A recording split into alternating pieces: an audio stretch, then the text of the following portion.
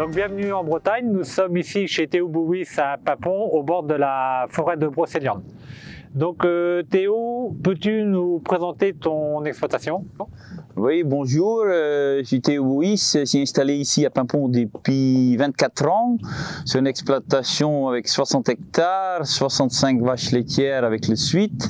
Les 60 hectares sont divisés en 50 hectares de pâture, 5 euh, hectares de maïs en silage et 5 hectares en mélange céréalier et un petit peu de l'orge de printemps. La première fois qu'on s'est rencontrés, du coup, on a parlé très vite de prairie et tu as commencé à utiliser donc nos mélanges prairie avec euh, du trèfle.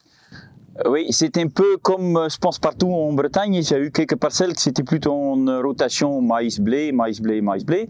Pour couper la rotation là, pour reposer la terre pendant trois ans, hein, pour récolter quand même fourrage riche euh, en azote avec tout de trèfle qui est dedans, de mettre ça en place. Euh, c'est des parcelles où on récolte 11-12 tonnes de matière sèche par an. A à peu près 5 coupes avec juste deux petits apports de lisier. Donc tout ça, c'était au mois d'août 2014. Et ensuite, donc du coup, tu as commencé à travailler avec nous en minéral sur les animaux. Donc qu'est-ce qui t'a motivé dans un premier temps à travailler avec TMC c'était un peu le concept global.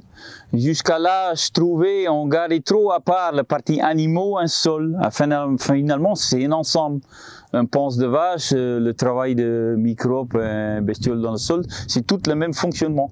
pour revoir sous toute sa totalité, pour faire du bon fourrage, pour faire un animal en bonne santé. Et donc après, par rapport au sol, tu t'es mis à utiliser un petit peu le TMS sur une partie de ton exploitation. Oui, on a commencé sur 15 hectares, trois pâtures, plus euh, une parcelle où on a fait une, un bande de, de test.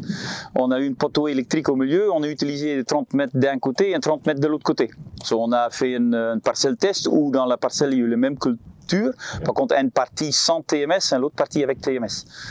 Et où j'ai constaté un printemps assez humide euh, où il y a du Italie dedans, du vache pâturée dedans. Quand j'ai traversé la parcelle à pied pour vérifier les fils, euh, dans la partie TMS, ça s'est mieux ressué que la partie non TMS. So, par rapport à ça, on a fait du euh, des prélèvements pour voir le reliquat d'azote. Dans la partie euh, avec TMS, il y a eu 26 kg de plus d'azote de rester dans le sol par rapport à la partie non TMS. Ok, donc du coup, bah, on va retourner sur le lieu du comparatif. On va aller voir cet effet. Donc là, nous sommes sur la partie où tu as commencé à utiliser le TMS euh, sur les 15 hectares, comme tu disais tout à l'heure. Donc tu peux nous en reparler ce que tu as observé euh, au départ. Après euh, des grandes averses, là, ça réussit beaucoup mieux. On a fait après des analyses de reliquats d'azote où il y a plus d'azote de rester dans le sol. ça m'a encouragé de dire là, j'utilise le TMS sur toute la surface. En plus, euh, j'étais un peu dans la démarche d'autonomie, c'est aussi de valoriser au maximum des effluents d'élevage. depuis deux ans, je mets maintenant le, TM litière en hiver toute la journée un peu dans la fosse, sur l'apport de, TMS avec l'apport de printemps, l'apport d'automne.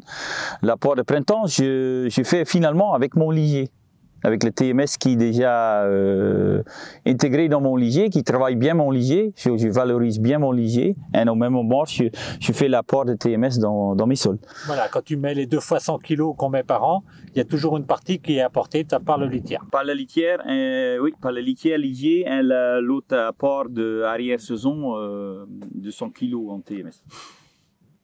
Et en plus, j'ai arrêté aussi l'engrais stataire avec du maïs. Je mets des TMS. En... Le TMS remplace aussi l'engrais stataire sur du maïs. Comme j'ai fait tout ça, j'ai dit je vais mieux valoriser mes effluents. Il faut aussi j'économise ammonitrate. So, j'ai dit stop, je ne mets plus d'ammonitrate sur mes prairies. cette année, sur les 60 hectares, j'ai réussi à utiliser juste 4 big bags d'ammonitrate euh, sur toute l'exploitation. C'est une petite partie sur l'orge de printemps, hein, quelques pâtures qui sont en bord de la forêt, qui sont assez humides. Au printemps, on ne peut pas aller avec un tonalisé. Ok, donc maintenant, du coup, on va pouvoir aller voir euh, le bâtiment et du coup, on va reparler de la ration des animaux euh, dans le bâtiment. Voilà, donc c'est ici que tu utilises le produit litière sur la période hivernale. Euh, oui, je mets tous les jours un sac sur le couloir. Après, la racleur amène ça dans la fosse. Hein. J'ai constaté le euh, le premier brassage, la fosse euh, au printemps, c'est très facile, ça, ça, tourne très vite. là, euh, ça, ça me plaît bien travailler comme ça pour aussi économiser du temps un peu au, premier passage dans le champ. Ok. Et donc, ça fait maintenant donc six ans que tu utilises le TMA donc dans la ration de tes vaches laitières. Oui, c'est aussi une facilité d'utilisation. Pour de vaches laitières, vaches taries, chénisses, c'est toutes les mêmes minéraux. Et pour le vache tarie, je rajoute deux fois par semaine un peu d'huile de foie de morue pour, euh, j'ai constaté quand même une facilité de village et un du veau très vigoureux euh, après village. Quelque chose qui s'y apprécie aussi, c'est le, le, technicien conseil sur le produit, sur l'application du produit. Par contre aussi, il partage des expériences qu'il voit dans des autres fermes, sans avoir forcément directement euh, quelque chose avec le produit TMCE juste des expériences en général, euh, qu'est-ce qu'on vit dans notre ferme. Tu apprécies donc la globalité du concept MCE, comme tu nous as bien précisé, la, la simplicité d'utilisation avec un seul produit sur l'ensemble de ton élevage. Donc on te remercie beaucoup pour euh, ce témoignage et ton accueil. Et donc, euh, on aura le plaisir de se retrouver pour d'autres vidéos et d'autres témoignages d'agriculteurs qui font confiance à MCE.